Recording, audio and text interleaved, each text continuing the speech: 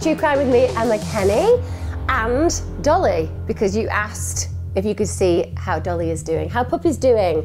She's like perfect. I don't want to kind of exaggerate. I don't want to exaggerate. I mean, perfection is a difficult thing to achieve, but she's achieved it, so she's good.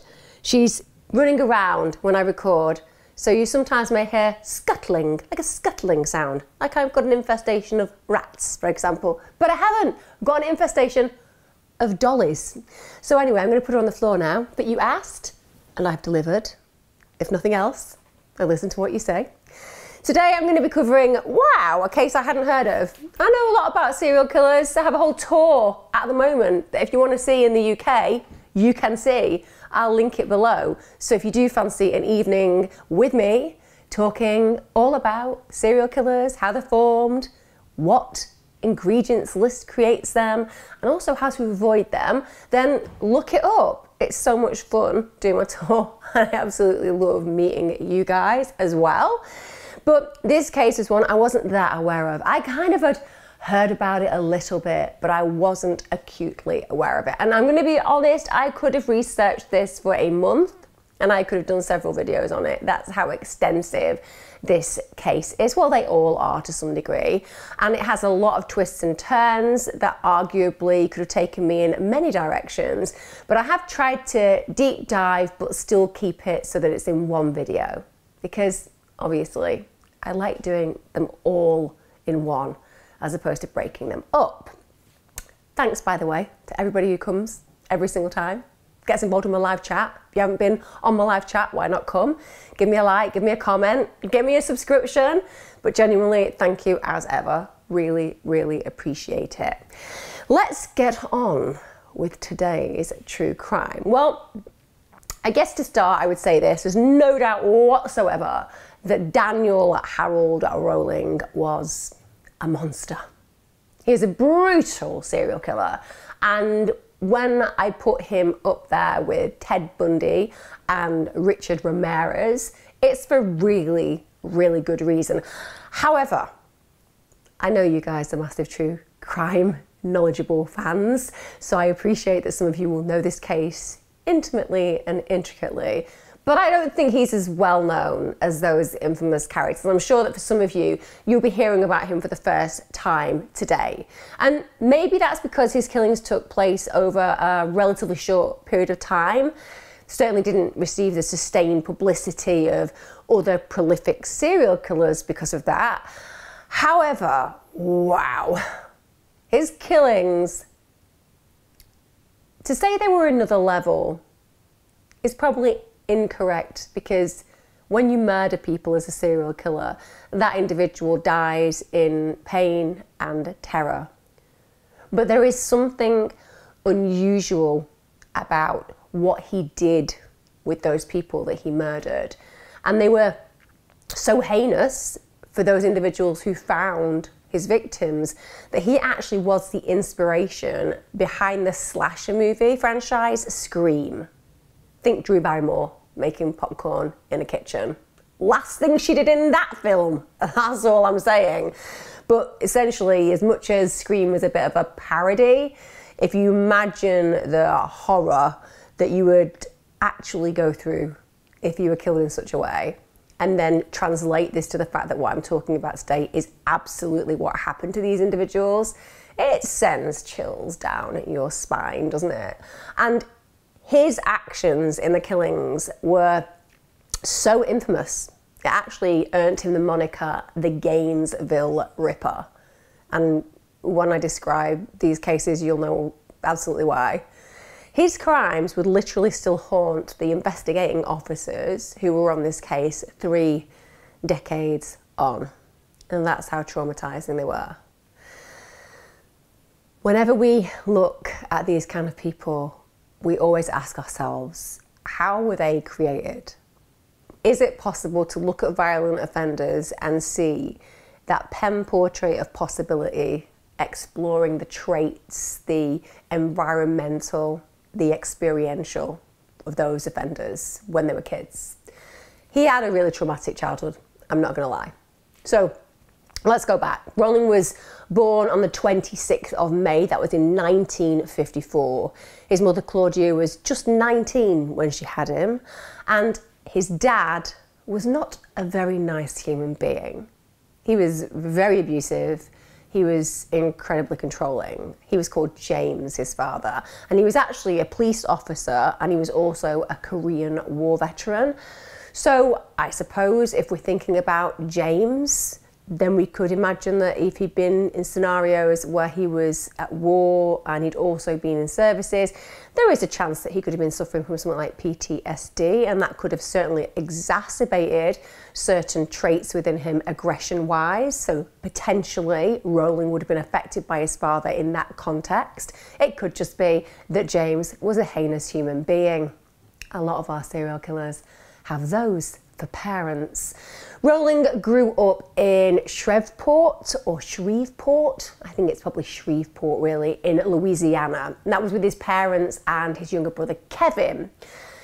It was made clear to Rolling by his dad from the moment that they could communicate with one another that he hadn't been wanted. I mean, the abuse just in that exchange is profound. What kind of a parent goes out of their way to make such a fracture in the foundations of a young child's mind, in a young child's experience, family wise? But that's exactly what James was like. He was a horrible bully. And I do think that we can't underestimate the impact that that would have on Rolling, being told you were literally not wanted. And James wasn't just nasty to Rolling, he was nasty to the entire family.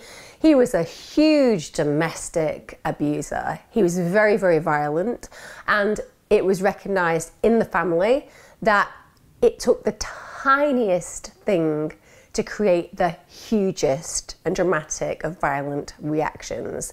He frequently beat them for the tiniest reason ever. And I'll give you some examples just so you kind of connect with how outside the realm of acceptability James was as a father. So, if he didn't like the way they were breathing, that was one. Didn't like the way that they were holding their cutlery or the way that they were sitting. They were all reasons for James to just mindlessly and violently attack his children. I think that for anybody who comes from a home that has been abusive, these kind of incidences do not surprise you. You're individuals who yourselves realized that domestically violent perpetrators, they are looking for a reason to harm you. But for people who've been blessed to be brought up with secure attachment, where a parent has been a primary caregiver and has made you feel safe and loved, can you imagine how it would feel to be that child? Where literally breathing or sitting incorrectly would result in violence. And where Rolling is concerned, this violence didn't start as a teenager. It started when he was literally at crawling age.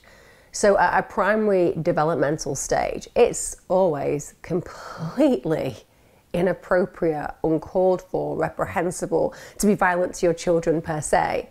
But when they are literally a crawling stage, well, one, how problematic can they really be? They are fully within your control and they don't act out at that age to any degree that should cause even mild annoyance. But the fact that also, if you're being violent towards a child at that prime age, the chance is that you're going to do some damage to the way that they develop, both mentally because of their experience environmentally, but also physically and brain wise. Because if you're being aggressive, shaking a child, hitting a child, pushing a child, these are all things that can massively impact on brain development. And one of the things that really annoyed James about his son was that instead of actually crawling in a typical fashion, as children tend to, he would actually do differently. He'd pull himself along on his bottom with one leg. And lots of mums and dads will appreciate that they've seen their own children do that. Not all kids crawl, genuinely. Some kids shuffle and then they stand and then they walk. It's whatever works, and certainly it seems like Rolling fitted that category. But it drove his father mad. So he was so incensed that on one occasion he grabbed Rolling by the leg and shoved him bouncing down the hallway. That's the kind of violence this little baby was dealing with on a daily basis. He would also hit his sons with a belt, which in this modern day is harrowing, but back in the 70s and 80s, it did seem that parents had a penchant for hitting people with belts who were their family members. I genuinely have lots of friends who used to get slapped that way. It's like some kind of weird corporal punishment that they all agreed with in the 70s was a good idea. I would just prefer it if you kept your belt on and just kept your trousers up with it. But nonetheless, the incidence of people hitting kids with belts, fortunately, has dropped to negligible because, well, it's considered illegal. Also, he would make fists and grind his knuckles into their heads. And if they dared to cry, because they were babies and children, and that's how you let your primary caregivers know that you're not happy with what's happening. But if they dared to, well, they'd get punished even more. So, psychologically, their life living at home with their father was just constant violence and fear. It was absolutely, without doubt, a highly unsatisfactory world for either child to inhabit, and it must have been terrifying. Also, it feels like James just wanted to steal the joy out of his children's lives, so they won't allow birthday parties, which, again, some people will understand that parents don't have the financial opportunity to create birthday parties. Some people will have religious beliefs that suggest that birthday parties aren't part of their faith. But for the most part, guys, you know, a birthday party is pretty important for a child. Jam sandwiches, bag of crisps, it really doesn't have to be anything incredible. What matters is kids get to have their friends around and they feel part of something greater than the individual. It's just what childhood is about. And ultimately, I do think that James used birthday parties and preventing them having them just as more torture. Simple as that. Letting them know that their happiness was beholden to him, per se. And he could prevent them from enjoying the small childhood pleasures that every child should be entitled to. Also, even though James was violent to all family members, it seems like he had a particular penchant for wanting to hurt Rolling more than anybody else. And when he got a little bit older, this is an example of what I think is unforgivable action towards his son. Because as Rolling got older, he got a pet dog. And his dad had basically found this dog at work. And this meant a lot to Rolling but James, at one point, in a violent rage, beat that poor defenseless animal so much that ultimately it died in his arms. I mean, can you imagine how that would feel? That Rolling was stood there holding a dog that he loved, that he'd been given by his father. And I think imagine what that would be like for a child who struggles to have a relationship with a parent anyway. And then suddenly you're presented with an opportunity to care for a dog. We all know what dog relationships are like. It makes you feel like you've got a friend who just loves you and accepts you even when you're not the greatest mood or you're not the greatest person because you're having a bad time. That's what dogs are brilliant at. And the fact that his father gave him the dog that would have meant a huge amount. It would have spoke volumes because they didn't really have a relationship. And I would imagine that Rolling was seeking some kind of connection. And then to have that taken away in such a violent way, well, that denotes two things. One, it's again a further abandonment of James to Rolling. And secondly, it's agonizing grief for Rolling as a child that he loses something that ultimately was like his best friend. And on another occasion, which may slightly blow your mind, is he actually held Rolling face down on the floor, he handcuffed him, and he called his police colleagues to have him taken away. Hello? I need you to come here. Why, James? You won't believe it. I've had to arrest my child. Why? I've literally got no good reason at all, but can you come and take him away? We'll be there in five. And they literally did that. Yeah. Basically, his reasoning behind calling his colleagues was because he felt embarrassed and ashamed of his son. Yeah, who knew? Who knew there was a whole area of the law dedicated to your emotional feelings about your child?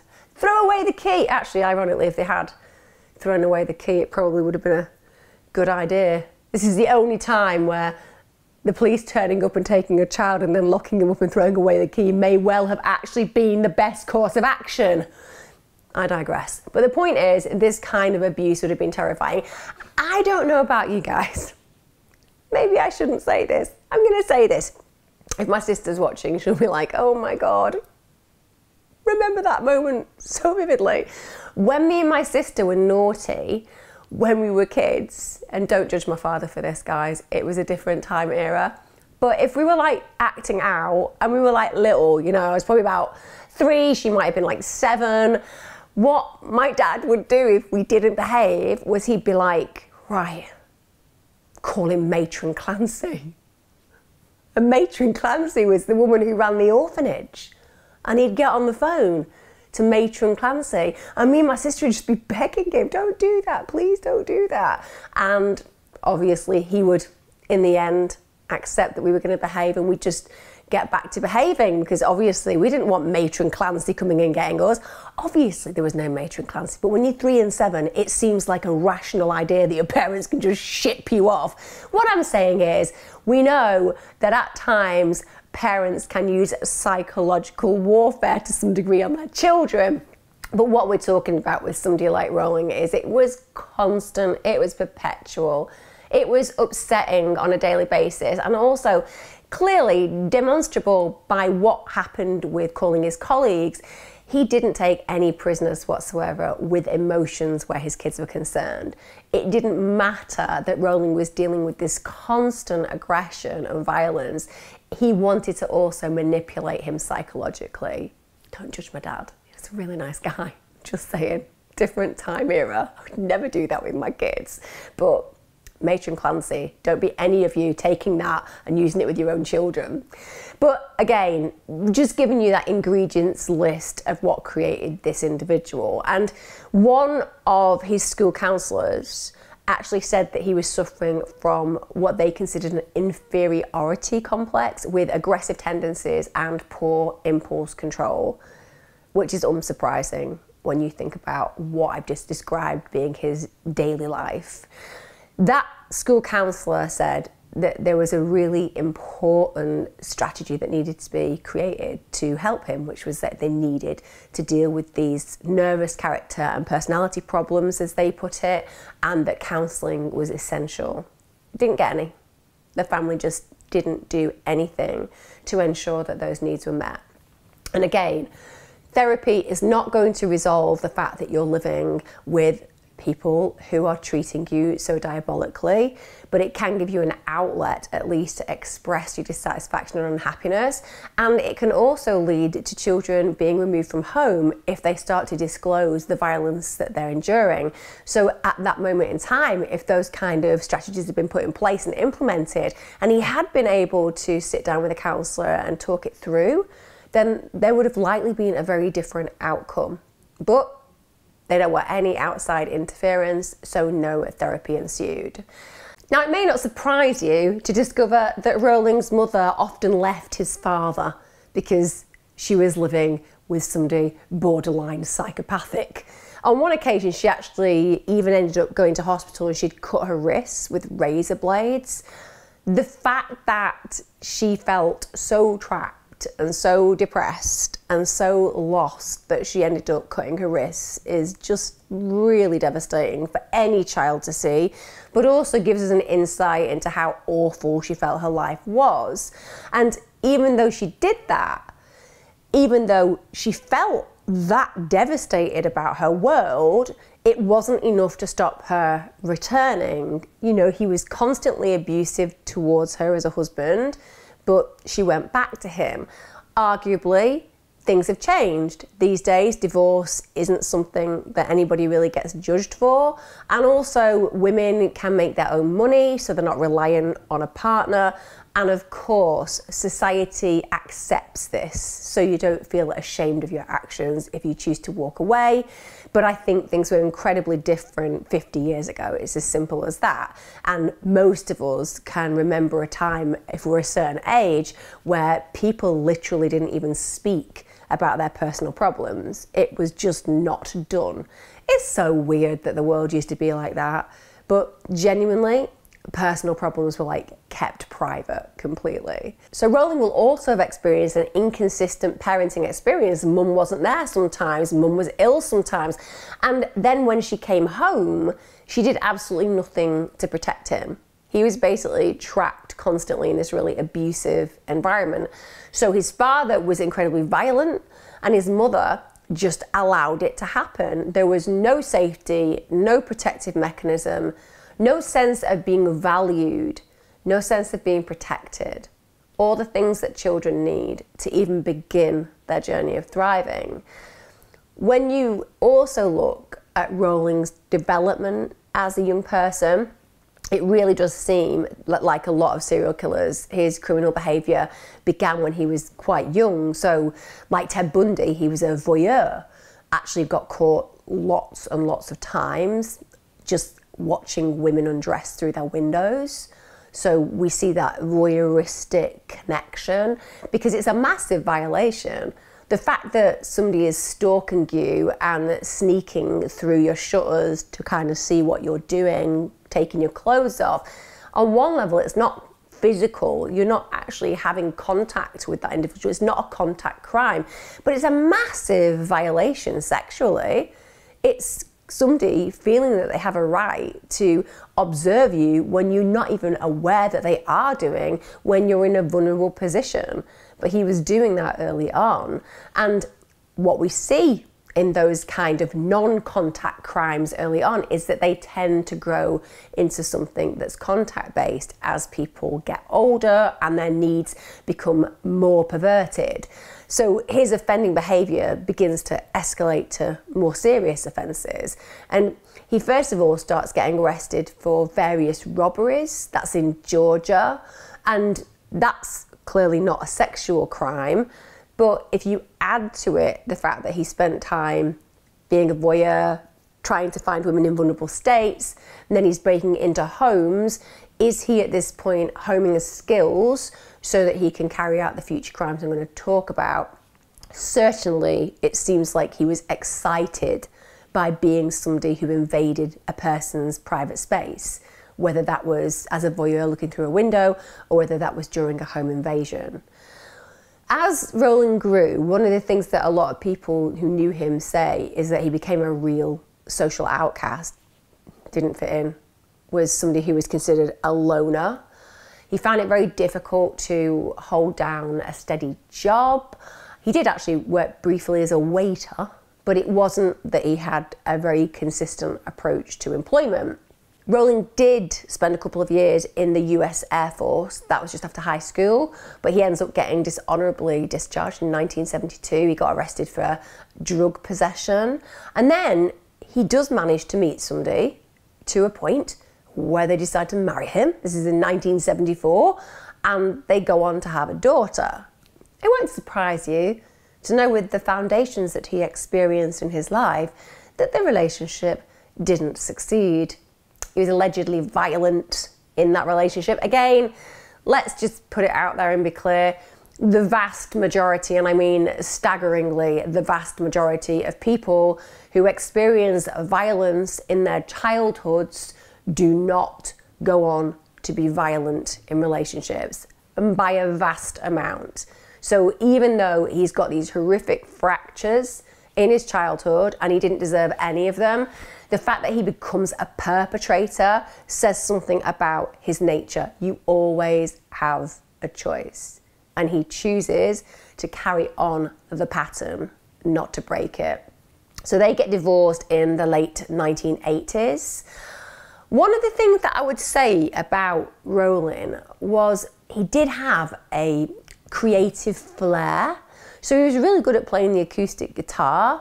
And I think that that was partly to do with the fact that when he was playing music, he had an escape, he had an outlet, getting away from the horrors of his home life was clearly very important to him, and just escaping with music was important. And ironically, as much as what we're going to be talking about today is a serial killer and a psychopathic one at that, because they all are, it's also worth noting that where music is concerned, there is a whole arena in therapy of music therapy because it doesn't matter whether you get involved in singing or playing an instrument or just like pumping out your favorite tunes. It has the same impact on mood, which is to increase the happiness index. So, music is very therapeutic, and clearly for him, that's the case. He's actually an aspiring country music singer, which is massive in the States. But in spite of that side to him, the other side was that he was a ticking time bomb. Simple as that a time bomb that was going to reach its climax in 1990, and that was when he was 36 years old. One thing I will mention about Rolling, because it's not going to get better from here, guys. I'm not going to be like, oh, Rolling decided that it was going to be a good idea to go and volunteer and become an active part in his local community. And he really did live out his days being respected by everyone and being pro social. You know, the story is not going to go like that. So I may as well introduce like one thing about him that actually was pretty neat. He was like his mother in one way, he was very creative and he was a really good acoustic guitar player. And that literally helped him during those really difficult times regarding thinking about his past and surviving the horrible family life that he'd experienced. It gave him a level of escape. He also had this dream, he wanted to be an aspiring country music singer. And I think we can all agree that psychologically, the reason that there is a whole paradigm that is devoted to music therapy in the therapeutic arena is because music is incredibly powerful. It's incredibly cathartic, it's connecting, and actually, there's a lot of research on it that says whether you sing yourself, whether you play an instrument, whether you just pump out your favourite tunes, the impact on the happiness index of individuals who do that is higher than those who don't engage in music. So there is a real healing where that is concerned. But in spite of this talent and in spite of this hopeful vision that he may have had from time to time about filling stadiums, being a country music singer, which is massive in the States. I mean, country music is enormous in spite of the fact he has this side to him, there's also this other side which is just a ticking time bomb. And things within him in that context reach this climax in 1990s when he's 36. It is actually around the time that his marriage ends. So, certainly, what we can say there is there would have been a high level of stress because clearly when you're starting to go through divorce proceedings, it's usually a little bit on the contentious side. For any of you who may have been through divorce, as I have, it can be a little bit on the aggravating kind of level and it can be scary and all the other things that go with that. So yeah, there is some more stress around those kind of endings. And what do we know about serial killers and violent offenders? The more stressed they are, the more likely they are to offend. So we can make that connection. And in May of that year, so 1990, he actually attempts to kill his abusive father during a family argument. He actually had been chased by his dad from his dad's house at gunpoint. So Rolling had then returned with his own gun and shot him. And it was a serious attack. It wasn't somebody just letting you know that they were not going to take it anymore. It wasn't power play. This was a scenario where he shot him in the head and in the stomach, and his dad lost an eye and he lost an ear. So that's high level offending, isn't it? And don't get me wrong, there is a bit of me that's like, well, if you go around beating the crap out your kid, if you use a belt, if you threaten them, if you get your mates to pop down from the cop shop to take him away because, I don't know, was a bit embarrassed about your behaviour, and so on and so forth, and then you think as they grow into an adult, you can continue that kind of treatment without any kind of retaliation, you are seriously delusional. And in this case, I think that James, to some degree, got what he deserved. I know it's reprehensible. I know it's unacceptable and I certainly know it's illegal. They are moral stances and they are, of course, legal stances. But the point is, we're talking about emotional. And Rolling had been horrifically abused for many, many years, and this was his tipping point. This was the I'm not taking it anymore. Police obviously issue a warrant for his arrest. You can't go around shooting somebody's eye out and ear off. It's not okay. Under any circumstances, in spite of the fact we can have some empathy and sympathy for what formed Rolling, the point is he really did try to kill his father. So Rolling then flees to Florida obviously on the run. Just three months after that, this is August 1990, this is when the killings begin. So, first of all, there's this burglary and robbery spree in Gainesville, Florida. But then this turns into what can only be described on reflection as a murderous rampage. And he would target young female university students, a bit like Ed Kemper, so he went for a specific type of young female. And all of his victims, aside from one, they all resembled his mum.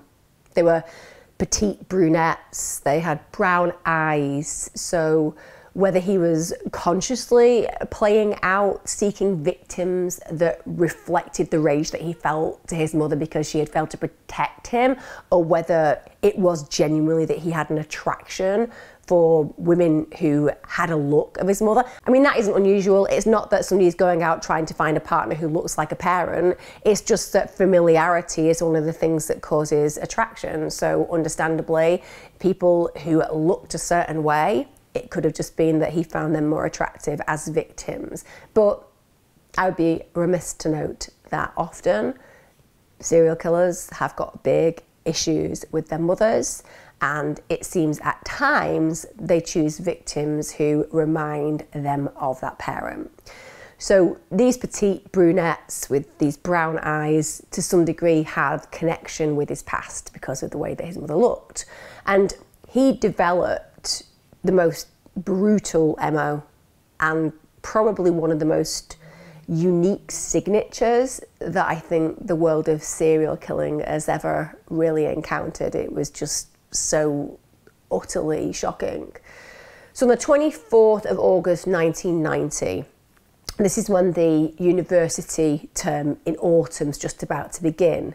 And there are two University of Florida freshmen, that's 17 year old Christina Christy, she was called actually, but Christina Powell and 18 year old Sonia Larson. They just moved, in fact, into the Williamsburg apartment complex and they had done what a lot of students did met each other, realised that they wanted to find somewhere to live and felt that they'd become roommates. They tried to get into dorms, but they were awful.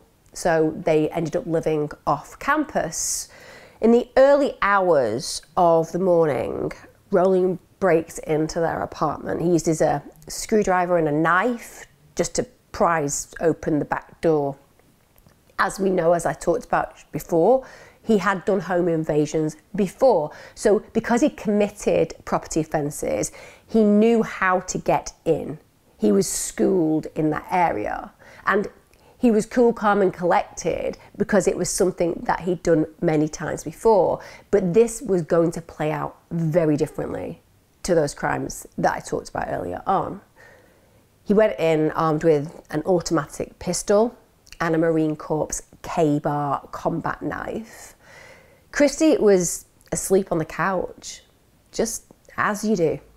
She'd just fallen asleep. And Rolling briefly stood over her, but then leaves her on that couch, obviously secure that she's asleep, but feeling the fact that he's got that power, that she's completely unaware, unconscious to the reality of what is about to play out. Imagine being so confident as a perpetrator that you can literally be stood near a sleeping victim and not in that moment feel that you need to take the opportunity to harm them in that moment because you know they could wake up. No, to be confident enough to look, take the image of that person in, and then to walk away which is exactly what he does because he quietly makes his way upstairs to where Sonia is sleeping. He stabs her in the chest.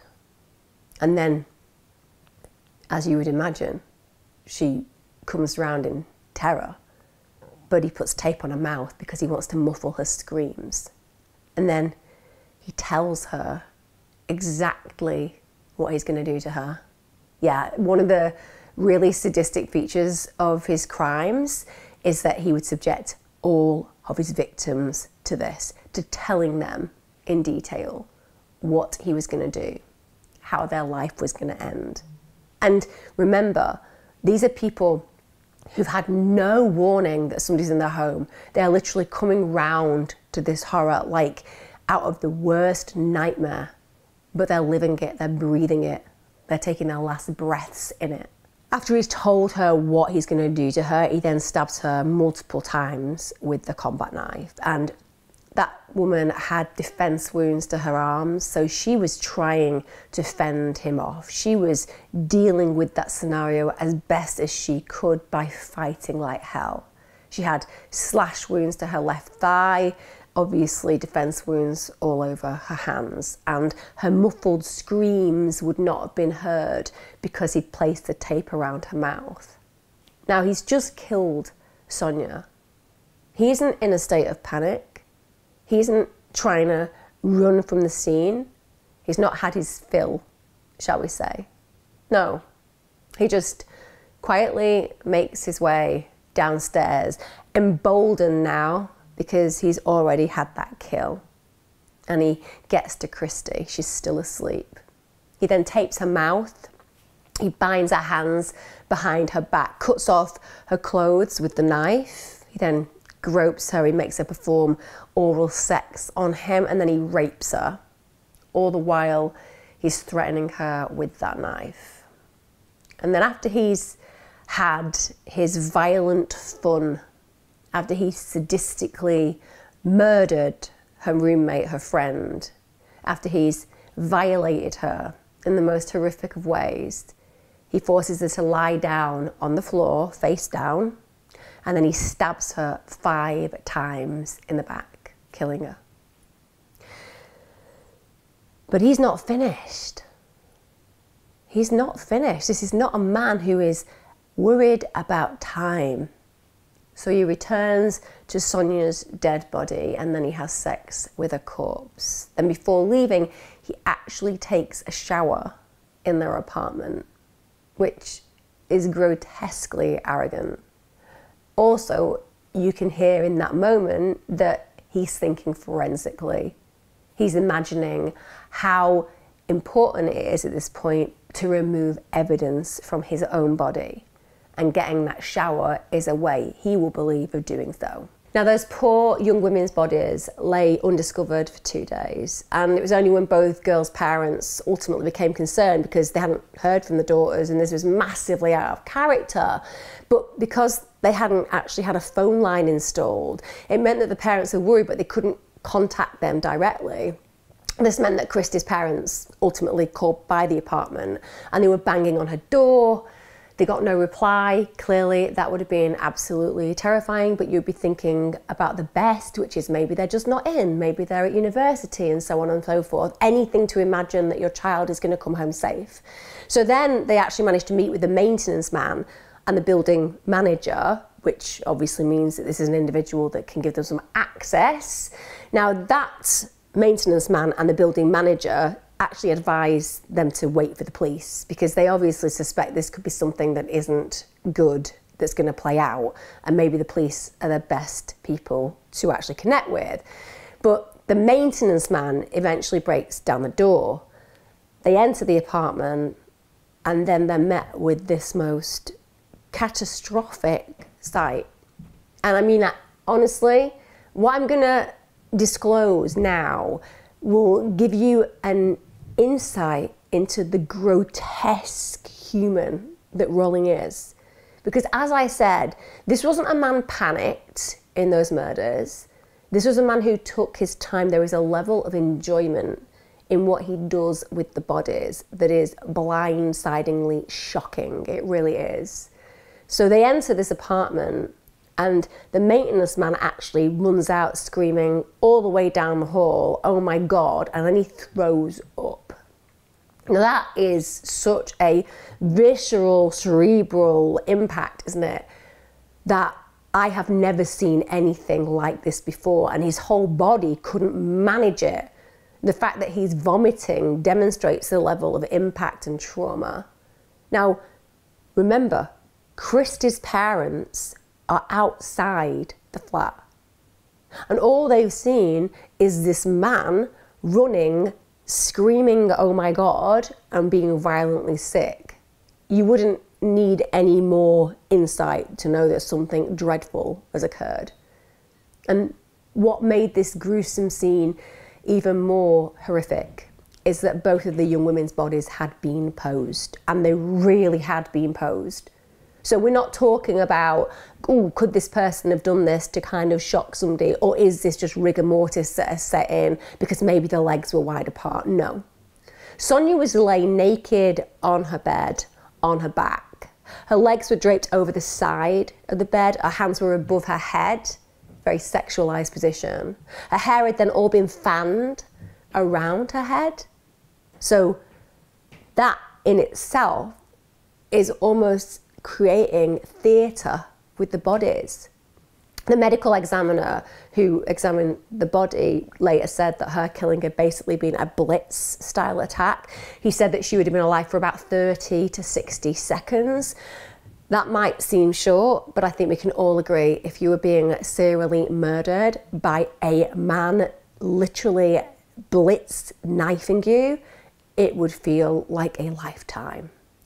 Downstairs, they found Christy, and she'd actually been left again in a similar position. But what they were also able to note was there had also been some post mortem mutilation. Christy's nipples had actually been sliced off, and one had been taken. Now, this posing that I've just described of his victims being in a really sexualized, suggestive manner, along with the post mortem mutilation, that would actually become something very representative of Rolling's signature. Also, they were able to find that there was tape residue, so they could see that even though there wasn't tape on the victims, because of this residue, it was clear that they had been taped up and they'd been able to be restrained because of it. But they noted that it had actually been taken away by the perpetrator. So they instantly know this person is trying to be forensically sophisticated. They want to avoid DNA and fingerprints being left.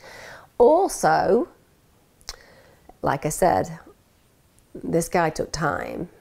Both of the bodies had been wiped down with a cleaning agent. This was after they died. And again, that's another thing that linked this individual to the killings. It was characteristic of his killings.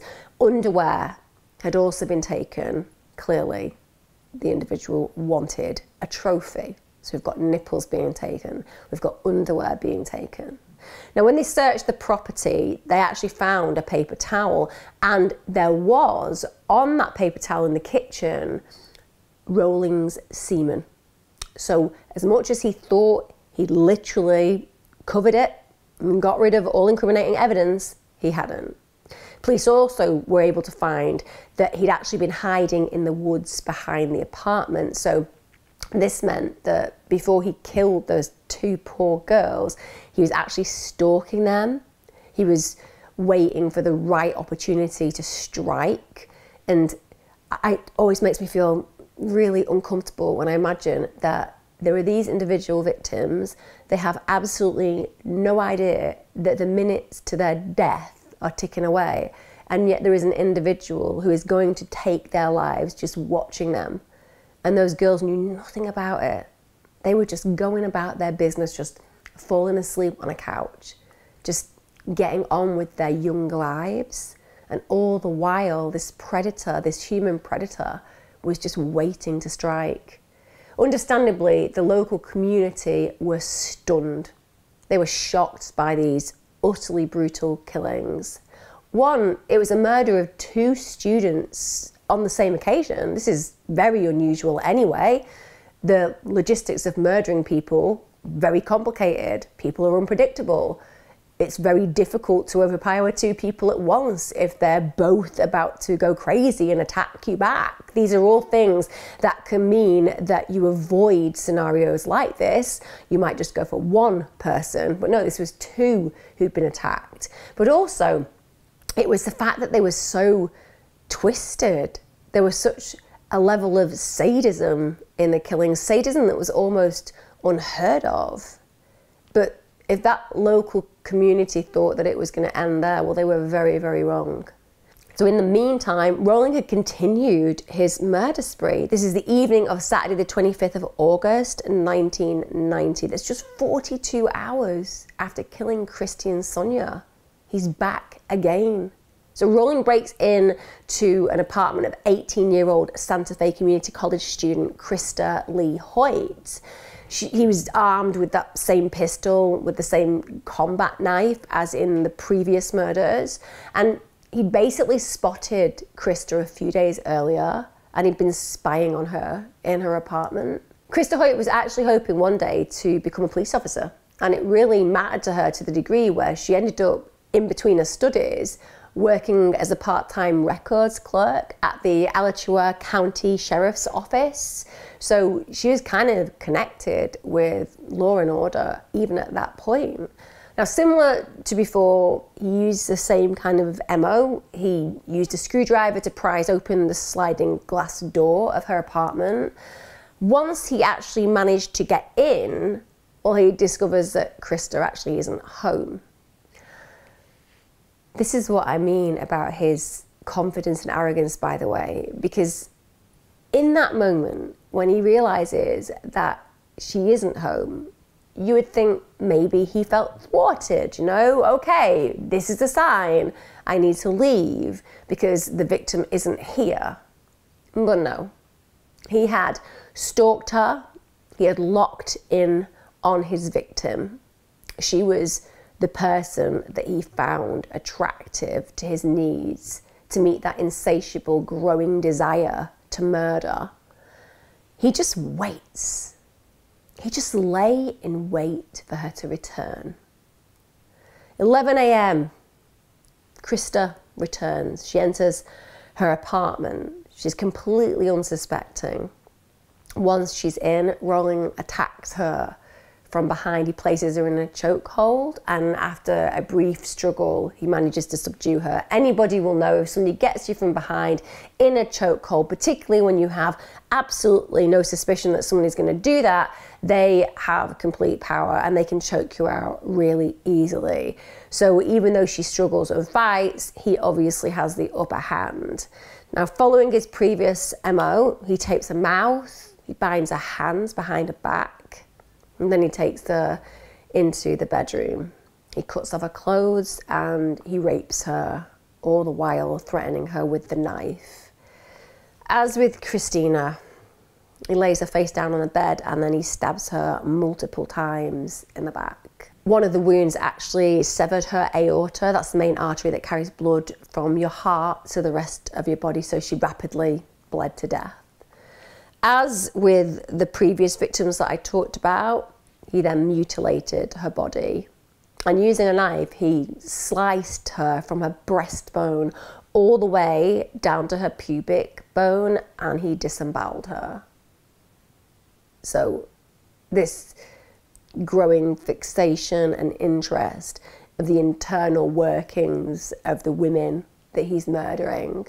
And of course, one can only make suggestions as to why he wants to do that. But if you imagine slicing somebody from their breastbone to the pubic bone, it kind of travels all the way through the organs that makes a woman a woman.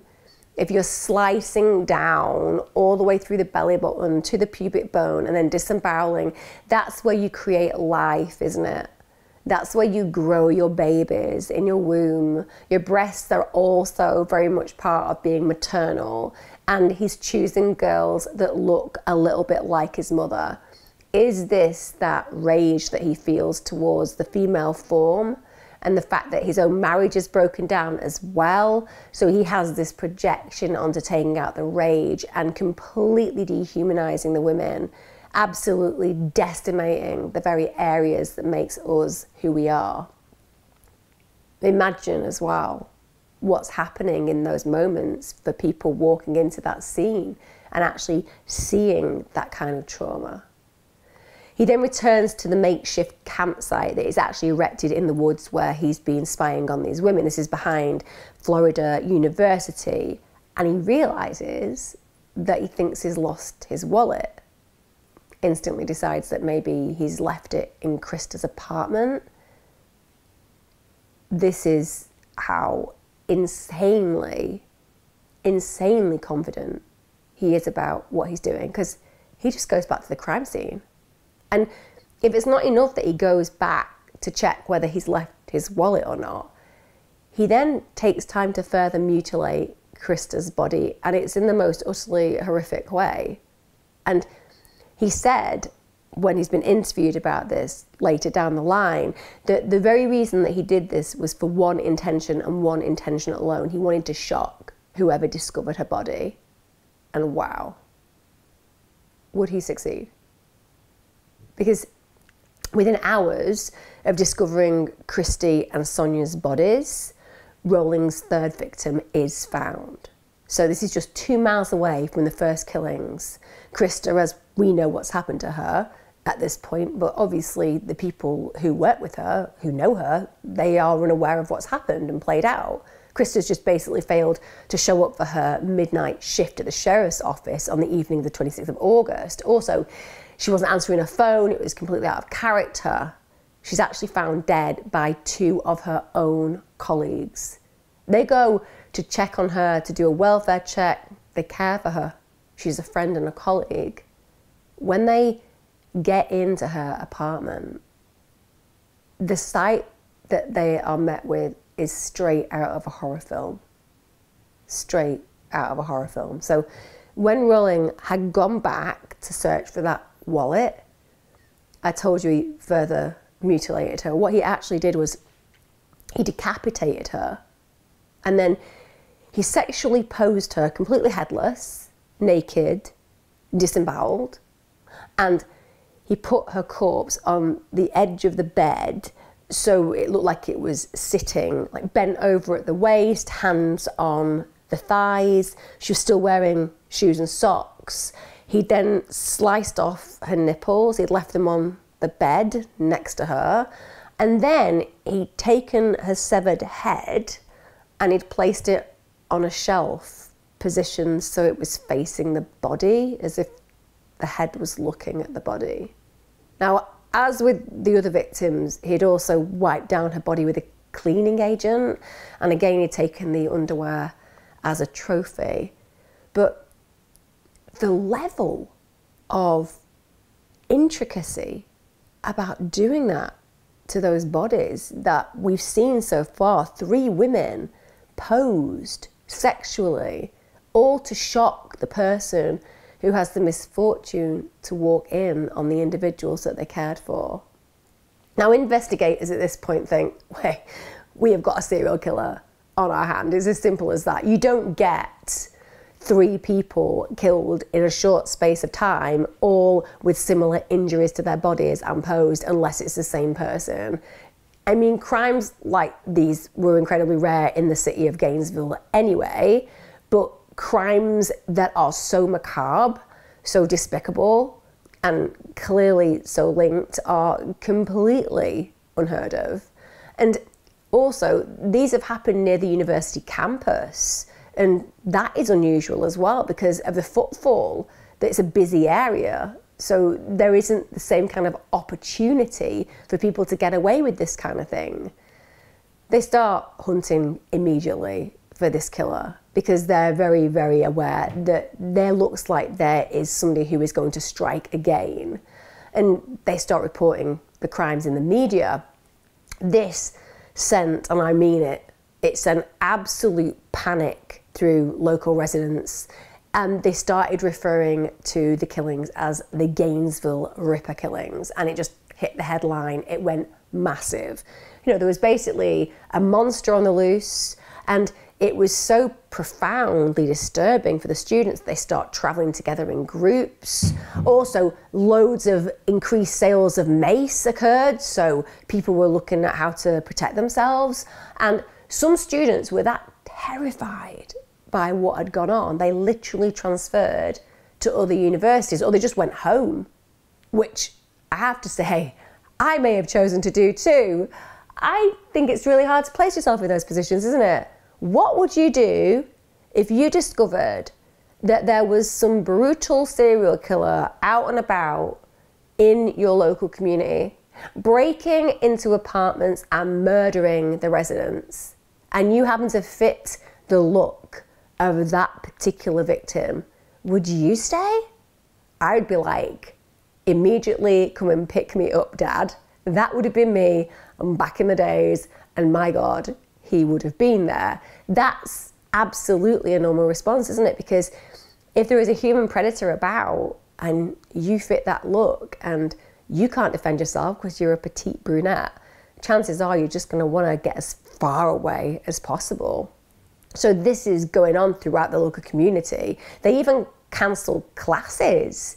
And some students said that they started to sleep with knives under their pillows. I would have had a samurai sword. And in America, I would have had an arsenal of guns. And I'm a pacifist. But I would have been like, is it possible to get an AK 47? I don't even think they might have been existing at that point. I'm not really a gun person, but I would have wanted something at least semi automatic, you know, just in case. And I would probably as well have barricaded myself in my room for good measure. You know, like they did in all the old cartoons where they just hammered lots of wood across doors to ensure that nobody could cross threshold. Something a little bit like that. But the city genuinely becomes consumed by fear. They were absolutely right as well to be scared.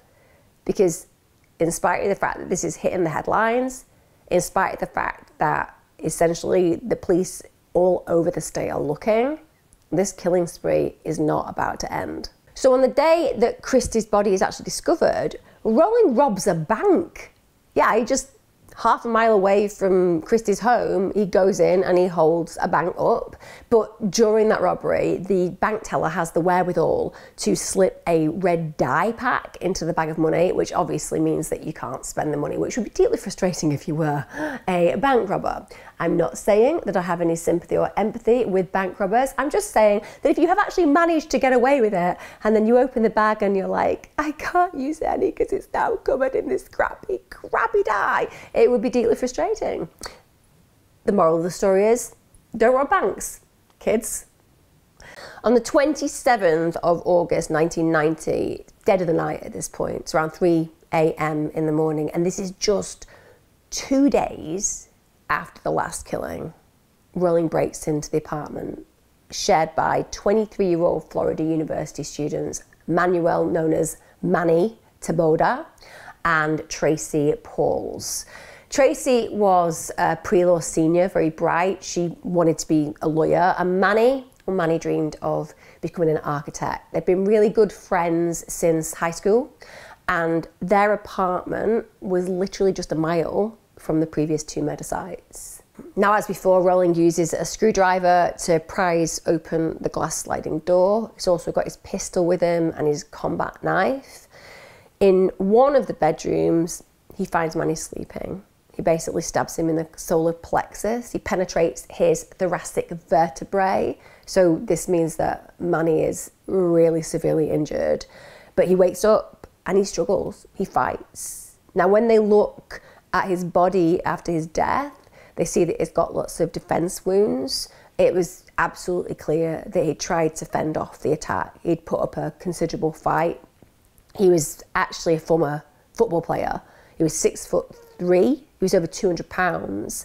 But because he'd been taken by surprise initially, well, basically, he didn't stand a chance. Rolling was six foot two. He was athletic. Also, he was armed.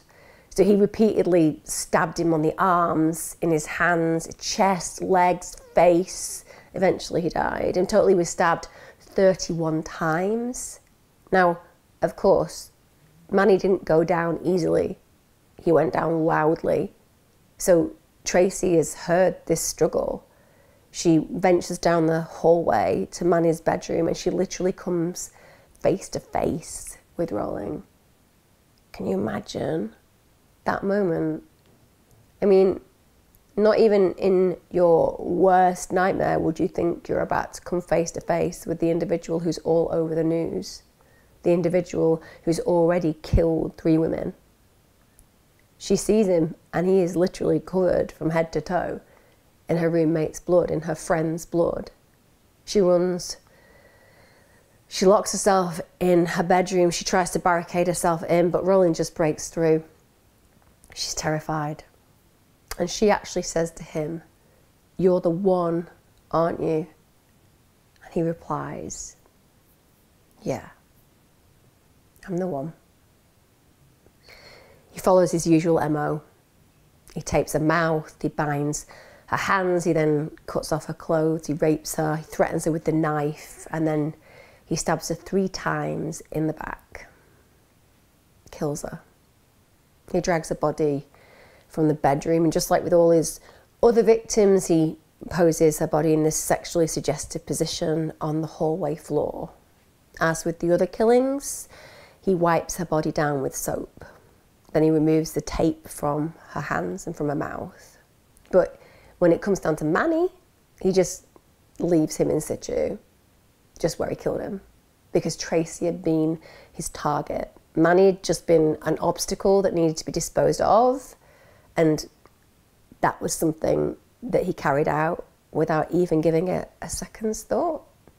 He just cut through Manny to get to the one that he found desirable. Interestingly, on this particular occasion, neither of the bodies were actually mutilated. And there is a belief that because of the noise that was going on, he got spooked or he felt that somebody was coming to interrupt him potentially. So he didn't have the opportunity to go ahead and mutilate the bodies. We'd be very surprised if he'd had the time that he wouldn't have done that. So it's likely he either feared he was about to be interrupted or he heard noises that made him think that somebody was coming. It is incredible that what I am describing is that within a 72 hour period, Rolling had stabbed to death five college students in their own apartments. You see, what is really striking about this kind of crime is that's what makes it unusual, where somebody is literally going into a place of somebody else's residence, breaking in and murdering them in the place that should be their sanctuary, their safe haven. It's what we all do. Look, we close our doors and our windows at night and we go to bed and we do not think for a minute that there is a chance that we will be taking our last breath at the hands of a murderer like this in our own home. It just doesn't figure. And it also says something about the level of confidence and arrogance of this individual that he goes to them he doesn't drag them off the street. He doesn't kidnap them. He doesn't coerce them into cars and then drive them to a place of death. He literally goes to them in their own home. So he'd killed five college students. He'd sexually assaulted three of them before killing them. At this point, the police are on high alert. Everyone wants to know why he hasn't been brought to justice. Why is he still on the loose? They need to catch him. City has become a media circus. Police were holding daily press conferences. They were trying to reassure the public that they'd had it all in hand. But man, did they need a suspect quickly. They really did. And you know what? When you want to find a suspect, you have a bias, don't you? You want to find the person who's causing this chaos. You want to bring that person to justice. And sometimes that can mean that you are looking for somebody that you can make fit the bill. Well, Ed Humphrey, he fitted that perfectly. He was a Florida University freshman, and yeah, he had a history of mental illness, and he had been off his meds, had had a long history of strange behavior. Sometimes he'd had violent emotional outbursts. Also, he was quirky, you know, he was known to dress in military attire. He'd often hang around the campus at night with a knife. And he had recently been evicted from the apartments where Tracy and Manny lived because he'd been aggressive. He even had scars on his face, which added to this suspicion that this was an individual who was atypical from the normal social expectations behavior wise, but actually he had those scars on his face because of a car accident. But you know, if you ever want to create a perfect poster boy for the Gainesville Ripper, well, this guy essentially fitted it perfectly. And that actually started years of harassment and media attention for him and his family. Ed Humphrey got hounded. It's as simple as that. Humphrey was actually arrested by police following a physical run in that he had with his grandmother, during which apparently he hit her, allegedly.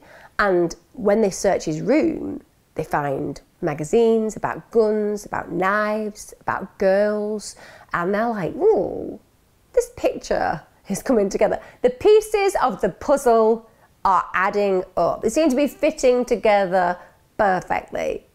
And somehow, the fact that, you know, he had magazines about guns, knives, and girls, because that obviously makes you a serial killer. My God, if you've got those, if you've got those bloody magazines written for lots of people, that's why they're a magazine, because people literally buy it about knives and guns, that there's literally an actual magazine about it, but that makes you very dangerous, very dangerous indeed if you're buying that kind of material. And I mean, if you're buying something with pictures of girls in, I mean, who do that? Who would buy books or magazines with even inappropriate pictures of women in? I mean, who would invent that? Guns, knives, porn. I mean, clearly if you're somebody who reads magazines of guns, of knives, and you like a bit of porn, you're definitely a serial killer, particularly if you've had a car crash and got scars on your face. But that is genuinely what they believe. And he ends up all over the media. All over the media. He gets labelled as the Gainesville Ripper. This is also at a point where his grandmother is like, um, you know how I said that he hit me? Well, I may have been exaggerating just a little bit. And arguably now he's all over the papers being accused of being the Gainesville Ripper, which I really don't think he is. But it was like too late. He ends up being sentenced to 22 months in Chattahoochee State Hospital for the assault. Even though she said he didn't do it. Even though she withdrew that testimony. 22 months. And he's basically put in a place where the inmates are convicted murderers. He was just mentally unwell at times. And suddenly he loses two years of his life in the most devastating surroundings. At this point, as opposed to the police being like, shall we, like, you know, figure out whether it could really be him? I don't know, let's test some alibis or talk to people who knew him. They were like, we should just build a case of murder around him. We should just like figure out how to make this guy who like looks like he's a murderer be a murderer. I mean, that seems like a good use of resources when there is a murderer out there who could strike at any point. But at the point that they start looking at DNA, I mean, at least they did have the DNA because it could have ended up that Ed Humphreys had an even worse outcome than he got. But because they have got the DNA and it doesn't match Humphreys, and they've obviously come from the crime scenes, even though DNA testing was still in its infancy at the time, they still had conclusive results because they found that the semen samples indicated that the killer had type B blood and Humphreys had type A. So, sorry, Humphrey. Sorry. Sorry we've ruined your life. Sorry that we've sent you to a really terrible hospital with lots of violent murderers. Sorry we tried to create a case around you that had nothing to do with you. We're sorry that we ignored the fact that your grandma also said that she didn't get hit by you. Sorry. I mean, it must be really awful being somebody like him. Like, genuinely innocent. Okay, you sometimes acted out, but there is nothing in your history to suggest that you are some kind of bloodthirsty serial killer, and yet you end up all over the papers. And you know that saying, where there's smoke, there's fire? It is amazing how many people hold on to that. Like somehow when you're wrongly accused, there must have been a reason for it. So now, of course, the plot thickens. The police are looking at this point in different states as well because they need to connect the dots. And fortunately, at this point, the police in Louisiana contact the Florida police about an unsolved triple murder. Now, this had occurred the previous year in Shreveport on the 4th of November 1989, and it was just a horrific murder, and again, very unusual for the area. Three members of the same family have been brutally murdered. That was 55 year old William Tom Grissom, his 24 year old daughter Julie, and his eight year old grandson Sean. It's a little kid as well. William was actually divorcee. He lived in the Southern Hills area, and all he was thinking about at that moment in time was he was going to retire. He'd also been battling throat cancer, so it was a chance for him to fully slow down, embrace an opportunity to no longer work and just relax, enjoy life. Julie was upwardly mobile. She was studying marketing at Louisiana State University and she had literally almost graduated. And Sean, well, Sean was just there because he was spending the weekend with his aunt and his granddad. And the reason for that was it was part of his birthday celebrations. Ugh, just always affects me when I think about that little eight year old boy, just with his extended family, being spoiled, enjoying his birthday celebrations, and this happens. All they've been doing was getting dinner ready. Someone breaks into their home and attacks them. Sean's mother actually had alerted the authorities because Sean didn't attend school on the Monday, that was the 6th of November. Of course, he should be there. And she couldn't contact her father. So the neighbours had been asked to check on the family. It's around 8:45 a.m. Neighbours go into the property, see a body, instantly alert the police. When the officers arrive there, they find William's body. It's slumped against the back doors, multiple stab wounds to his back and to his chest. Eight-year-old Sean, that little boy, he's in the living room. He hadn't been spared. He'd been watching TV when he was attacked and he basically was stabbed really severely. It was the wound that entered his back and exited through his chest, so it went straight through him, impaled him. Julie, well, she was clearly the intended victim. She was found naked on the bed. She'd been stabbed multiple times in the back. She was covered in bite marks that had been very ferocious. And her body, well, it was partially hanging off the bed. It had been wiped down with vinegar, very unusual. And what does that do?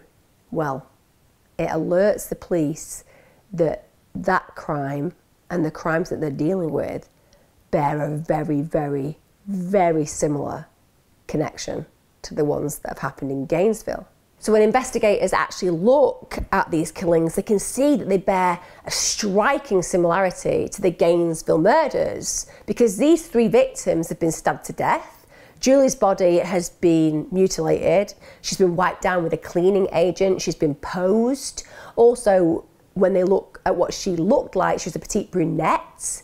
When they were able to collect the bodily fluids from the crime scene, it was discovered that the likely perpetrator was a blood type B. Again, same as the Gainesville murderer. So the Louisiana police at this point believe that they're searching for a psychologically disturbed man who had experience with crime scenes. That's what they believe. Now, it seemed the serial killer that Florida police were looking for had clearly struck before. That's what they arrive at. The fact that this is an individual who has moved, who has gone elsewhere to continue those killings. There's just too many similarities. Now, at the time of the 1989 murders that I've just talked about, Rawlings was living just 10 minutes away from the Williams home. He'd moved back with his parents the previous year because his marriage had broken down. He was not welcome, by the way, in his parents' home, but essentially he didn't have anywhere else to go. And he'd spent much of the last decade in prison for robbing things like grocery stores. So obviously he was very, very unpopular. In fact, he was still on probation. He'd served three years of a four year sentence for his last robbery. Also, he'd previously served time in Alabama prison for a robbery before that. He then fled to Shreveport after, as I said earlier on, attempting to kill his father. At this point, he'd broken into a house, he'd robbed a couple of $21, and then he'd travelled to Florida on a Greyhound bus. Anybody who's been travelling like I have, Greyhound buses are kind of how you get around. And it's here that he pitches a tent in the woods on the Florida University grounds. Not long after he arrives, five students are killed, and the Gainesville killings begin. Back, however, to August 1990. So on August the 28th, that's the day after Tracy and Manny's brutal murders, and also two days after the bank robbery, Rolling is still living in the tent in the wooded area owned by the University of Florida. He's not left, so I think we can all assume that the likelihood is he's planning on going nowhere and he's planning on carrying on the killings. Now, a police officer actually sees him and sees him in a black male, in fact, entering the woods at 1 a.m. And he doesn't like what it looks like. So he calls for backup. The black male was Tony Danzy.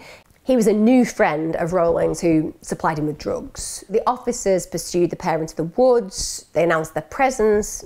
Danzy turns and faces the police. He totally remains where he was. Obviously, he's not going to run. He's not got anything to hide, essentially. Rolling, however, just flees into the woods. Officers basically lose track of him. Then they get police dogs. They search the woods again and they soon discover Rolling's campsite. At this point, they find a raincoat and some red dye stained money on the ground. Then they search the tent, they find a tote bag on top of more dye stained money. So, again, they can kind of see that this is adding up. Remember, there's been a bank robbery. Inside the bag, inside that tote bag that they find, there's a gun box. It contains a blue steel Taurus handgun plus a screwdriver, duct tape, a dark ski mask, and a cassette player with a tape inside it. Yeah. Officers at this point are like, wait, that's got to belong to the guy who robbed the bank. It's as simple as that.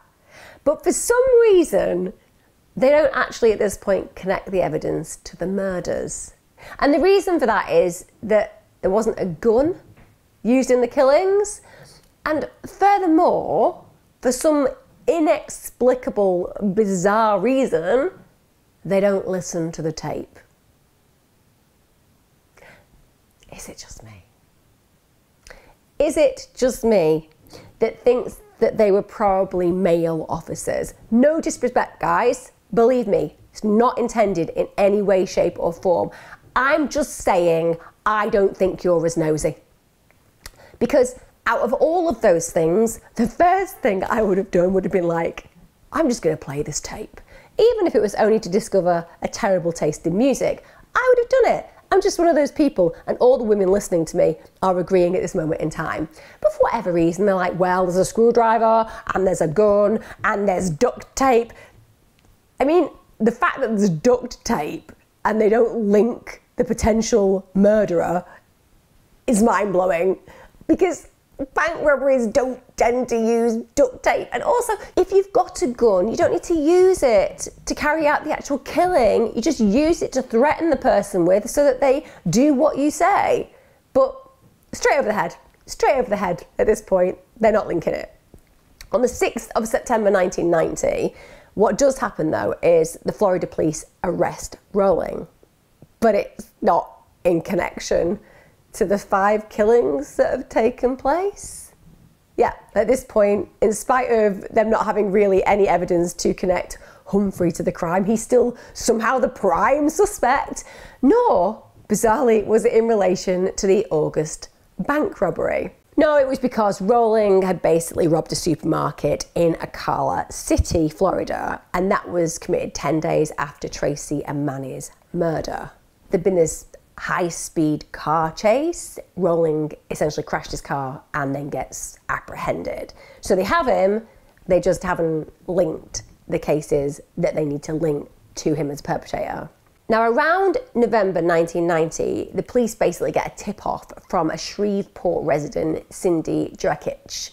Her and her then husband, they'd known Rolling through their local church, and Rolling had spent time with her family. In fact, for a while, he'd come to their home every single night. And during this time, he'd actually said some really worrying things to her husband. He said he had a problem and he liked to stick knives into people. Her husband basically told her he has to go. I mean, yes, he has to go immediately. He's saying he likes to stick knives into people and we're having him round for food every night. Meaning that we are actually paying for him to eat food so that he can enjoy time with us as a family whilst potentially thinking about enjoying sticking knives into us. So clearly they act on that. But even though she's deeply uncomfortable with this, she really doesn't want to think that Rawlings is actually responsible for the Shreveport murders. However, she then heard about the Gainesville murders three months earlier while she was traveling through Florida and at this point, she kind of felt that there was a convincing argument that Roland could actually be the perpetrator. And at this point, she contacts Crime Stoppers and says to them, I think there's one guy y'all need to investigate Danny Rolling, which is correct because Danny Rolling has been coming to your gaff and saying that he's got a penchant for, you know, stabbing knives into people obviously. I completely understand psychologically the bias where you like somebody and you look after somebody and they say crazy things and you don't connect it because you see the best in them. That is normal for humans. I'm not judging those individuals. They were doing their best and clearly sound like really nice people who actually went out of their way to support people in their community who had fallen on hard times. But I'm just saying, you know if somebody comes to your house and you get to know them, and then they're like, I have a bit of a problem. I like stabbing knives into people. Like, speak to the police. Do it. You know what I always say? Risk to offend somebody. It may just save a life. No one should be talking about a problem where they stick knives into people. So once authorities have established that Rollins have got a history of committing robberies, they then realised that maybe he could be responsible for the August bank robbery. And on that day, that was when Christa's body had been found as well. So now the police revisit the evidence that they find at the campsite in the woods, which is near Florida University. And at this point, and at only this point, they think, hey, we haven't listened to the tape. We haven't, we haven't listened to the tape in the tape player that we found at the crime scene. On the tape, well, it appears that Rolling has done a bit of recording, a little bit of talking, a little bit of singing, because remember he's an aspiring country singer. And one of the songs included the line,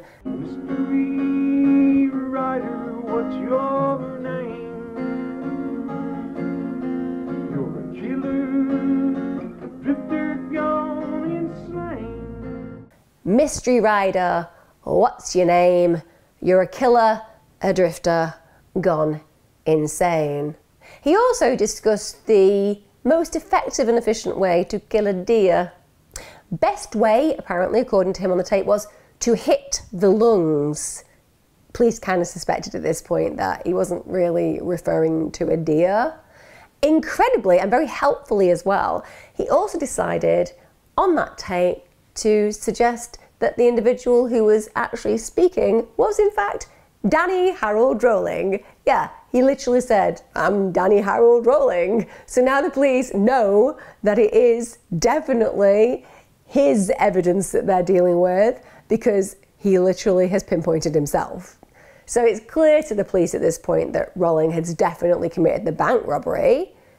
It's bizarre to me that nobody thought about listening to the tape earlier. I know that people will be like, well, maybe they didn't think it would be of any interest. It's like, no, you eliminate. That's what you do. You eliminate or you discover. It's as simple as that. You don't just put it away in an evidence bag and be like, oh, who'd have thought that there might be a tape with some incriminating evidence in there, you know? It was at the scene of somebody who had been involved with a crime. And it would have meant that he'd been apprehended three months earlier, which is when you think about the extent of his killing and the escalation of his killing, how many bodies could have been counted in that time period? So we are talking about life and death situations. And the police soon traced Rolling to Marion County Jail because obviously he is already incarcerated. At this point, they take the blood sample. They establish that he's got the same blood type as the killer and that they're looking for. And his DNA also matches the DNA that's found at the crime scenes. And Manny's blood had also been detected on items at the campsite, so now they're really connecting the dots. January 1991, the police now announce that Rolling was the new prime suspect in both the Shreveport and Gainesville murders. The poor other guy, Ed Humphrey, is just like, Am I free to go now? Am I free to go? Yes, we've ruined your life now. You can leave. I'm sure you'll be fine after spending nearly two years in a horrendous situation for something that you didn't deserve to actually be there for. But off you go. Get on with your life. September 1991, Rolling actually gets sentenced to life imprisonment for the supermarket robbery and he was later given more life sentences in connection with various other robberies and also the burglaries that he's committed. November 1991, Rolling gets charged with the offences relating to the five Gainesville killings. Five counts of first degree murder, three counts of sexual battery, and three counts of armed burglary of a dwelling with a battery. Whilst he is incarcerated in Florida State Prison for these robbery offences, Rolling basically speaks to another inmate, a guy called Bobby Lewis, and he tells Bobby Lewis that he wants to confess to all his killings, and he gives him lots of details that only the killer would know. Lewis then writes a five page letter and he outlines exactly what he's been told. So the investigators then arrange to meet with Rolling. And he wants Lewis to be present and to act as his mouthpiece during the meetings. Bizarre mentoring relationship, but whatever gets you a confession, I guess. So Lewis relays what he's been told. Rolling confirms those details, and that's basically taken as a confession. During the meeting, Rolling starts to tell the investigators that he dealt with various personalities his whole life. And he claims that this had been caused by his father's horrific abuse, that he'd been neglected, that he'd also been sexually abused in prison, and he also blamed his ex wife. He said that he had these two very specific, darker personalities, as he put it. One was Yinad, that's actually Danny, spelled backwards. It's not exotic. Yinad is just Danny spelled backwards. And basically, he's bad, but he's not evil. And the other one was Gemini. Now, Gemini was particularly sinister, and he was the one who was responsible for the murders. The investigators were like, Yeah, yeah, I think that's BS. I think you're just trying to shift your blame. I think you're completely aware of your faculties and you're just throwing in now this opportunity of I'm totally insane. it wasn't me. It wasn't me at all. It was Gemini. You know, always go for a very dramatic name as well.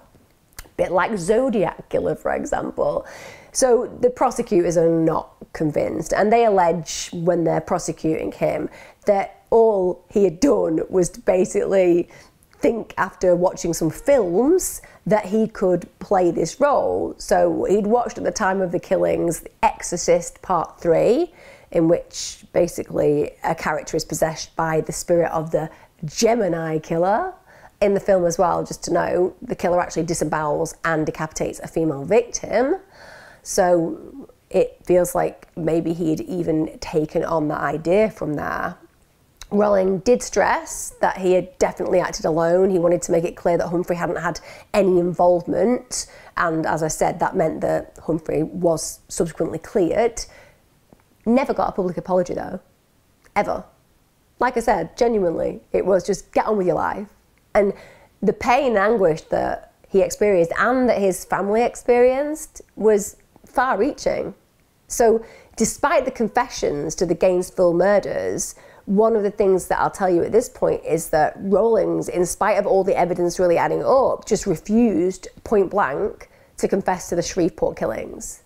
So, as far as he was concerned, he was absolutely steadfast in saying that he had nothing to do with those killings, in spite of the fact that they were, I don't know, like identical. Like identical. Like serial killers are very, very rare, but serial killers who wipe down the bodies of their victims with cleaning products are incredibly unusual, let alone to be active at the same time. Just saying. So, 9th of June 1992. Now, this is despite the fact that they have got like overwhelming evidence, overwhelming, including a tape recorder with him literally identifying himself. Despite as well the fact that he's given a full confession, he's like, okay, I have confessed to the murders.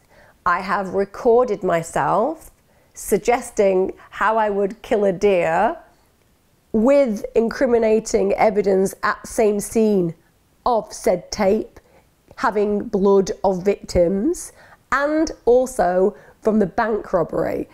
And I even got my mate in prison to tell the police my confession with me present. And essentially, I've agreed that I've done all of these things. So now I'm going to court. I'm going to say I'm not guilty. Not guilty. Yeah. Suddenly, 9th June 1992, gets to court, it's like, yeah, I didn't do it. I didn't do it. It's all guesswork, in it? All of that, it's just a bit of bad luck. Bit of bad luck, somebody probably nicking my tape player, and I'd just been having a bit of a conversation and a bit of a sing song because I want to be a country singer. Yeah, he goes not guilty, which is just mind boggling. So, 15th of February 1994, this is the first day of the trial because clearly there's now a trial. He said that he wasn't guilty. You got to go full hog on this. He's basically like, yeah, I am guilty. I am guilty. Yeah, I am guilty. I'm going to plead guilty to all counts. Tells the judge this Your Honour, I've been running from first one thing and then another all my life. But there are just some things that you can't run from, this being one of them. I'm not sure that you going guilty because you can't run from this anymore is because you can't run from this anymore. I think it's because the prosecution have got a very strong case, and we all know what's happening to somebody who makes the court go ahead and go through an incredibly expensive trial, and then you get found guilty. It's not going to end well for you, is it? But anyway, he managed to say that to the judge and had his moment to, I suppose, shine as somebody realising the error of his ways, but nobody took that seriously at all. He also claimed that his main motive had been to want to become famous, like a superstar, like Ted Bundy. What is it with people who think that Ted Bundy is some kind of famous superstar? He was just a sadistic killer. And with respect as far a deeply insecure human being who genuinely was awkward to be around according to quite a lot of people who knew him. But i digress. That's a whole other case. But that was his motivation. And his plan had literally been to kill one person for each of the eight years he'd spent in prison in the 80s for his earlier robberies. Maybe he felt like he deserved to punish society because he'd had to be incarcerated. But that's his reasoning behind it. And later he goes on to admit that he didn't want the case to go to trial because he didn't want people to be shown the crime scene photos. Because one can argue that you would instantly be told death you're getting the death sentence. There is no doubt whatsoever what you did to those poor victims makes it clear that you were planned, you were calculated, you were prepped with what you wanted to do, you carried out the most atrocious mutilation of bodies, and then you posed it in a way that would traumatize the individuals who found them. Like, could you be any more diabolical? The answer is no, by the way. The answer is no. It's just a, it's a clear no. You couldn't be more diabolical. Simple as that awful. At the penalty phase, that's in March 1994, the jury obviously had to make a decision what they consider to be recommended as a sentence, and they're all like, death. Immediately, death penalty, without a doubt. If you think about the aggravating factors in this, really there couldn't ever have been any other outcome. I mean, man, the aggravating factors were huge. First of all, we've got Rolling's previous convictions from violent offences, so he's not learned anything. In fact, he's escalated. His murders were all premeditated. He'd stalked his victims. He'd gone equipped to break in, so he knew he was going to kill people. Very premeditated. Every single one of the murders was either heinous, atrocious, or cruel, so meets the aggravating factors there. Also, he'd put his victims through the most unimaginable terror and he'd enjoyed it. He told them exactly what he was going to do to them. Juries then were shown pictures of their slashed and chipped bones so they could see that there was an utter ferocity around how he'd stabbed them. Also, the murders had been committed during the commission of a sexual assault, so they were hugely aggravating factors. Now, there were mitigating factors in this case, and they were taken into account. So, when they assessed Rolling, they found that he had the emotional age of a 15 year old. He'd committed the crimes whilst he was under the influence of extreme mental or emotional disturbance. He had a massively dysfunctional background that you all are aware of because of what I've talked about. That was taken into account. And without a doubt, he had suffered horrific trauma from his childhood because of the physical and mental abuse. Also, witnesses testified to the fact that they had seen that abuse. So it wasn't just Rolling saying it, people came in and unequivocally agreed that he had had a heinous childhood. And his family, interestingly enough, also had a history of mental illness. They also noted that Rolling's particular mental impairment had an impact on his behaviour, on his impact about how to act in a socially acceptable manner. And finally, even though it was at the very last minute, he did plead guilty to all counts, and that meant that they avoided the need for the trial. But in spite of all of those mitigating factors, the aggravating ones totally outweighed them. So the judge absolutely agreed there is only one sentence, and that is death. On March 1997, he appealed against his sentence and it was unsuccessful. I mean, what was he expecting? I know it's just par for the course. I do know, I know it's par for the course, particularly where the death sentence is concerned. You appeal the sentence, but you're not going to get a different outcome. You could not get somebody if you were going to say that the death sentence is viable and that there is a certain marker to mean that you deserve it. He's got to be in that top 0.00001% as far as deserving it, isn't he? Because it's rare that anybody else could ever do anything worse than what he's done because it's excruciatingly evil. Excruciatingly evil. Prior to him actually being executed, Rolling handed a handwritten note to a pastor, and in that, well, yeah, he admits to the 1989 Grissom murders in Shreveport. And he does actually apologise for his actions. Is it just me? I have a little bit of, shall we say, bias, my own judgment, shall we say, about why people do this in those last moments. Because I think that some people are like, I have been a complete horror of a human. Like, genuinely, I have been, when it comes down to a spectrum of who I could have been versus what I have been, I am next to the devil. And now I'm like about to meet my maker and I don't really want to go down. And I'm hoping that all that stuff about, you know, forgiveness and atoning for my sins and taking responsibility and being forgiven will mean that I end up going up, shall we say. I'm just saying. I'm just saying that it doesn't surprise me that just before he's going to get put to death, he's like, I did kill those people, because then he's admitted it and he can be absolved of his sins. I don't think he will have been, though. Just saying, personal belief system. He actually gets executed by lethal injection. That's on the 25th of October 2006. He was aged 52, that's 16 years after he committed the murders. His youngest victim, that lovely little boy, eight year old Sean, he would have turned 25 the day before. Many of the families of his victims, they actually went to watch him die. He gave no last words. Instead, he sang his own gospel hymn, in which he repeated the line, None greater than thee, O Lord. Interesting. But crack on, I guess. Crack on, if that's what you want to do. I'd have just thought maybe a nice apology to the families per se, but no, you just sing yourself a little bit of a lullaby. He gets pronounced dead 13 minutes after he started singing. He was the 63rd person executed since Florida reinstated the death penalty in 1973. I think that I have to pose this question Do we have some sympathy for Rolling as far as who created him? You know, it is possible, isn't it, to feel sorry for the abuse that he suffered at the hands of his father, of course, but it does not provide any near excuse or reasoning for his crimes. Many, many people, unfortunately, suffer similar abuse, worse abuse. But they don't become monsters. In fact, they become the opposite.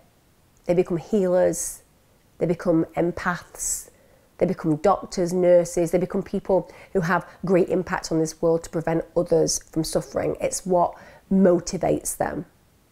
So that's not a reason. For me, it feels like, yeah, there was to some degree a perfect storm of ingredients in Rolling's case to create a killer. You know, he was he was actually diagnosed with antisocial personality disorder, borderline personality disorder, and paraphilia.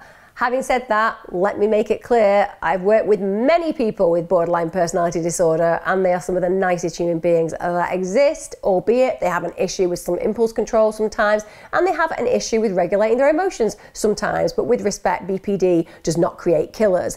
Antisocial personality disorder, well, that's different. We often see people who are violent offenders getting diagnosed with that, and certainly the paraphilia is clear sexually because of the way that he acted with with those women violently and afterwards with post mortem mutilation and sex. In Gainesville, more than 30 years after their deaths, a simple memorial to Rolling's victims remains. The wall just displays the five students' names. Interestingly, Rolling was never actually tried for the 1989 Shreveport murders. They actually officially closed that file in March 1994. I guess the fact that he said he did it and it will have brought at least closure and understanding to some degree to the family who was left behind. But I imagine that it would have been helpful for them to have had him officially charged and at least acknowledged in the way that they could have known that he was recognised as that killer essentially they know he was. But like I said, sometimes the ritual of having a trial can be really, really helpful for the individuals who suffered losses.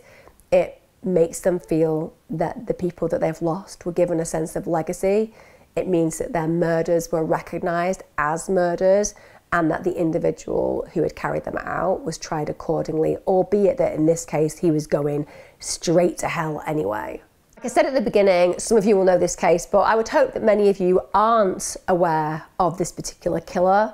It is brutal, isn't it, when you think about the kind of level of horror that was inflicted on these poor victims, but also for those who were traumatized by what they saw when the bodies were discovered. And it also speaks to the reality that there are these human predators out there whose predilection are so dark, so dire, so dangerous that human beings just going to sleep in their own homes at night can end up prey to these individuals. It's just terrifying.